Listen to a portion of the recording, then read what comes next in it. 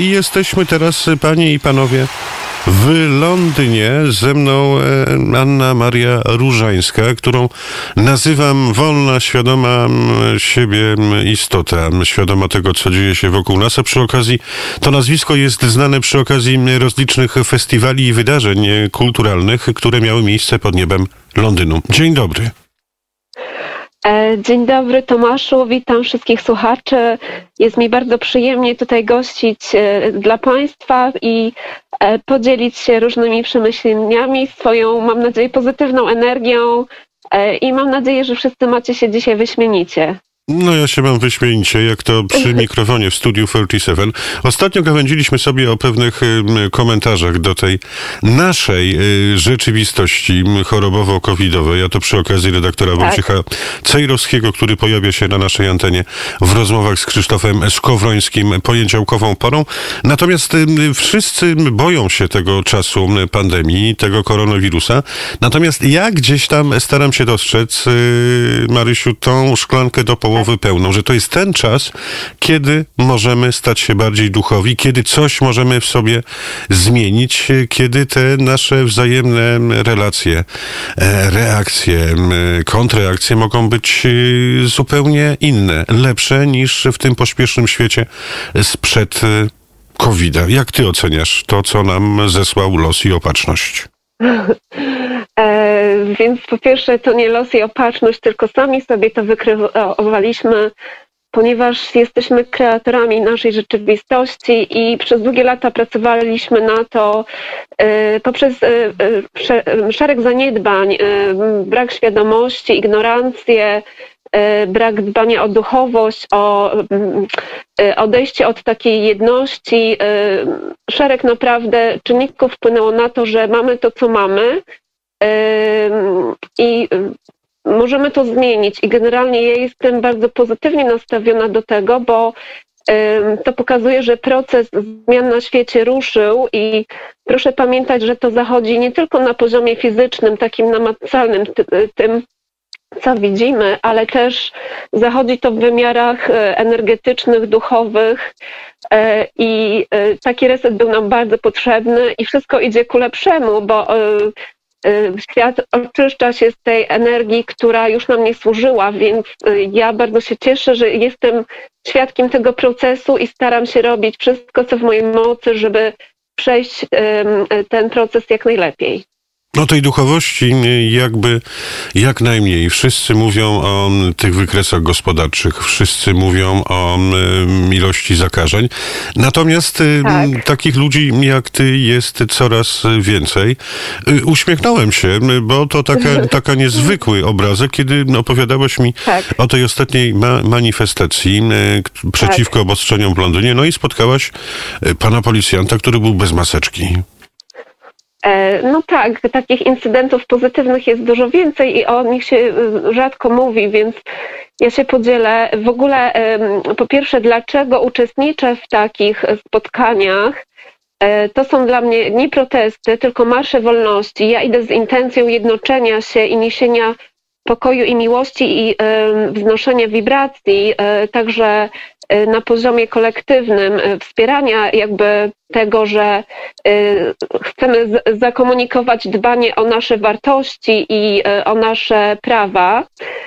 No i takich dużo pozytywnych rzeczy się działo, właśnie między innymi pod parlamentem podczas ostatniego marszu nie mogłam się oprzeć, żeby podejść do pana policjanta, który jako jedyny tego dnia był bez maseczki e, i powiedziałam mu, że bardzo miło e, widzieć uśmiechniętego policjanta i on bardzo miło mi podziękował.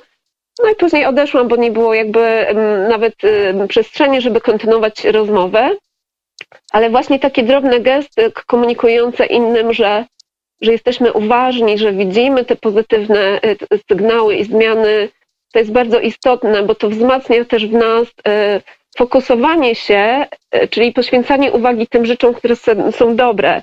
I to, co najbardziej mnie przeraża w mediach na przykład, to jest to, że za bardzo przekierowujemy uwagę ku rzeczom, które są niskowibracyjne i negatywne, a tam, gdzie płynie to uwaga, tam zasilamy to energią, a ja nie chcę zasilać energią rzeczy negatywnych, po to, żeby one się jeszcze bardziej wzmacniały, tylko przekierowuję wszystko w tą stronę pozytywną i dbam o to, żeby E, żeby się pilnować po prostu każdego dnia. No stąd często u nas bardzo dużo dobrych wiadomości. Staramy się odczarowywać tą rzeczywistość. Natomiast muszę cię zapytać o jedną rzecz, bo przecież y, tworzysz poezję. Aktywnie brałaś udział w różnych festiwalach, czy to poezji słowiańskiej, czy to tak. innych.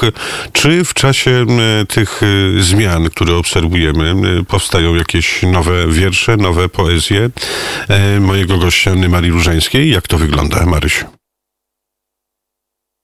E, powiem tak, e, powstają i e, one powstają tak, na, tak organicznie, tak z potrzeby wyrażenia siebie i zakomunikowania swoich uczuć po tym, co właśnie przeżywam, co obserwuję. I ostatnimi czasy, w ciągu ostatnich miesięcy, tych właśnie takich trudniejszych dla nas emocjonalnie, energetycznie, powstało kilka utworów, które napisałam tak po prostu z potrzeby podzielenia się tym, y, jakie mam spostrzeżenia. Y, odważyłam się nawet je upublicznić, no i też zrobiłam kolejny krok, który wcześniej był dla mnie taki, nie wiem, był dużym krokiem, żeby w ogóle się otworzyć na zewnątrz i podzielić, ponieważ wcześniej nie miałam fanpage'a, teraz właśnie podczas pandemii e, go otworzyłam i e, zaczęłam się tym dzielić ze światem. Robię to jeszcze na małą skalę, e, nigdzie się nie reklamuję, ale mam po prostu potrzebę dzielenia się i wiem, że są osoby, którym jest to potrzebne i mi nawet osobiście za to dziękują. Także mm, czuję, że, że każdy z nas powinien mieć taką misję dzielenia się tym, co jest dla niego ważne, co jest pozytywne i wartościowe. Poezja, muzyka i uśmiech są bardziej niż ważne w dzisiejszych czasach. Natomiast tak. powiedz mi jeszcze jedną rzecz, bo mm, co to znaczy być świadomym rodzicem podczas nie o. tylko pandemii, ale generalnie podczas tych zmian, które obserwujemy wokół nas? No, to jest e, dobre pytanie i dość szeroka mogłaby być odpowiedź. Postaram się skrócić. W ogóle po, e, po pierwsze, co to jest bycie świadomym i można to interpretować na różne sposoby i każda interpretacja jest właściwa, ponieważ każdy e, ma inne filtry e, określając e, to i inne definicje mogą mu służyć. Bycie świadomym rodzicem to jest bycie odpowiedzialnym za swoje wybory, ale też bycie odpowiedzialnym za to, że dokonuję, że wybieram odpowiednie, nie wiem, źródła informacji i narzędzia do tego, żeby lepiej zadbać o siebie i rodzinę. E, ale szukam e, trochę głębiej, czyli nie tylko biorę to, co zostało mi podane na tacy, czyli to, co daje mi rząd, to, co daje mi, e, dają mi media głównego przekazu, tylko szukam głębiej, czyli sięgam do książek, komunikuję się z innymi rodzicami, wyrabiam sobie przede wszystkim e, własne zdanie na temat tego, co jest dobre dla mnie i, i dla e, mojej rodziny. E, I, I, patrzę zawsze na drugą stronę medalu, tak? Bo zawsze trzeba się przyjrzeć temu, czy E, aha, przede wszystkim trzeba kwestionować to, co zostało nam podane. I taki temat, tylko wspomnę, który jest dość kontrowersyjny, dla mnie nie jest, bo ja już się tym zajmuję 10 lat, y, czyli na przykład temat szczepionek, tak? Ja nikomu nie narzucam, co ma myśleć, skąd ma e, czerpać y, źródła informacji, ale zawsze proszę o tą uważność, aby przyjrzeć się drugiej stronie monety i wtedy zadecydować, co jest dla mnie ważne. Czyli nie godzić się ślepo e, z, z, tą narracją, że ktoś nam mówi, co jest dobre dla naszych dzieci, tylko żeby samemu zadecydować e, po tym, jak się zdobędzie odpowiednią wiedzę.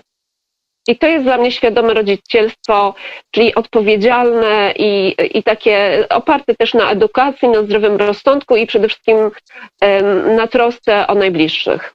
No, z tymi szczepionkami to tak jest. Tydzień temu y, Anna Maria Różańska, moim Państwa gościem w Studiu Dublin, cytowałem y, wiceszefa najważniejszego medycznego pisma Wielkiej Brytanii, który powiedział, że no jakby nie patrzeć, te szczepionki mogą mieć skuteczność maksymalnie 30%, natomiast nie mamy żadnych y, wiadomych znaków, że te szczepionki sprawią, że będzie lżej i na tego koronawirusa nawet po zaszczepieniu będzie się e, zapadało i to cytowałem przed tygodniem na antenie Radia Wnet. Natomiast wracając do tak. tych wszystkich obostrzeń, e, Mario, jak radzicie sobie? Bo przecież no ciężko się spotykać w szerszym gronie, więc jak radzicie sobie? Bo wiem, że te wasze kluby świadomych istot, wolnych tak, istot powiększają tak. się liczebnie. Dokładnie. E, powiem tak, to nie do końca są zawsze zorganizowane grupy. Czasem to wychodzi bardzo spontanicznie. Wystarczy, że dwie, trzy osoby, które mają podobny poziom świadomości i otwartości, e, chcą się spotykać i to już jest grupa. A ja nie ukrywam, miałam takie ogromne szczęście, że przyciągnęłam do siebie ludzi bardzo podobnych, więc ja nie czuję się osamotniona w tym, w tym wszystkim, tylko czuję się wręcz wzmocniona, bo to jest też taka energia zbiorowa, gdzie my się wspieramy, wymieniamy wiedzą, umiejętnościami, e, wspólnie planujemy różne rzeczy, e, więc po prostu każdy z nas może zapoczątkować jakby e, taką grupę, jeżeli czuje taką, taką potrzebę, a nie ma wokół siebie no, takiej opcji, to wystarczy zacząć od siebie. Ja przyciągnęłam grupy ludzi świadomych w Londynie, poznałam grupy osób świadomych w Polsce, E, I my tutaj działamy nie tylko na poziomie fizycznym, bo e, to, o czym mówicie na, na łamach waszego radia, jest bardzo ważne, ale do tego też e, nie mniej istotne jest dołączyć te aspekty właśnie energetyczne, duchowe, ponieważ jesteśmy jednostką świadomą, taką komplementarną, która łączy w sobie również duchowość, tak? Czyli jesteśmy jednostką duchowo-mentalno-energetyczno-emocjonalno-fizyczną. Więc te wszystkie aspekty są ważne, żeby one były jednolite, żeby o nie zadbać.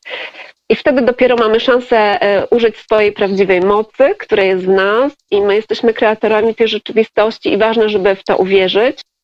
E, I tutaj jeszcze mm, dam taką wskazówkę, jak, dlaczego mam taką pewność sobie, bo ja zrozumiałam wiele rzeczy dzięki też poznaniu elementów fizyki kwantowej, która bardzo fajnie wyjaśnia te poziomy świadomości, i to im niżej jesteśmy na tym poziomie, to tym mniej wierzymy, że od nas coś zależy, a od nas bardzo dużo zależy i właśnie uświadomienie sobie tego jest też kluczowe. I też oczywiście to, że powinniśmy działać w większej grupie i się wspierać wzajemnie, więc ja działam w takich grupach e, i bardzo mi to pomaga. Powiem Ci, że to legło u założeń Radia Wnet. Wolne media, wolni, świadomi siebie, ludzie, jak mawia Krzysztof Skowroński, którego serdecznie pozdrawiamy. Natomiast y, Mario, Anna Maria Różańska, tak. moim Państwa gościem, rzecz bardzo ważna. Gdzie można Cię wyszukać albo Was wyszukać w sieci od tych stęsknionych, y, tego co dobre, pozytywnie energetyczne i świetliste? E, powiem tak, nie chcę tutaj może e, e, za dużo mówić o konkretnych grupach, aczkolwiek z niektórymi jestem związana od lat i mogę je ewentualnie polecić. E, dużo grup działa po prostu poza social media. To też warto sobie uzmysłowić, że nie wszystko, e, że istnieje więcej niż tylko to, co pokazuje nam Facebook. E, są inicjatywy oddolne, komunikujemy się poprzez komunikatory, przez telefon, maile i tak. A jeżeli Państwo chcieliby znaleźć jakieś grupy takie bardziej świadome, E, na e, Facebooku na przykład, no to polecam grupę e, grupę Gaia Kingdom w języku angielskim i Gaia Kingdom Rodzina Polska. To jest inicjatywa już od kilku lat istniejąca, gdzie skupiamy się na celebrowaniu szacunku do Matki Ziemi i szacunku do innych ludzi, i mamy dużo wspólnych wartości i jest to też grupa dla ludzi świadomych. E, też są tam wywiady z różnymi ludźmi, a poezja? którzy mówią o tych aspektach. A poezja pojawia się Słucham? czasami? Poezja pojawia się gdzieś tam czasem e, na przecięciu tych spotkań? e, trochę mniej, chociaż boleję nad tym, ponieważ jest wśród nas wielu artystów, ale e, tylko powiem taką ciekawostkę, że e, takie in- inicjatywy już są za, zapoczątkowane, że chcemy też artystycznie się wyrażać, żeby pokazać światu, że jest światełko w tunelu, że nie musimy ciągle żyć w strachu, że możemy się wzmacniać tą kreacją, dzieleniem się talentami i że jest to możliwe, bo my to już jakby robimy i to daje nam też e, moc. Moim gościem była Anna Maria Różańska. Nie po raz pierwszy, nie po raz ostatni. Dziękuję pięknie. Z ukłonami dla Londynu i pozdrów. Regent Park ode mnie. E, Dziękuję i dbajcie o wysokie wibracje. Wszystkiego dobrego i mam nadzieję, że do usłyszenia innym razem. Oczywiście, Anna Maria Różańska. Dziękuję pięknie.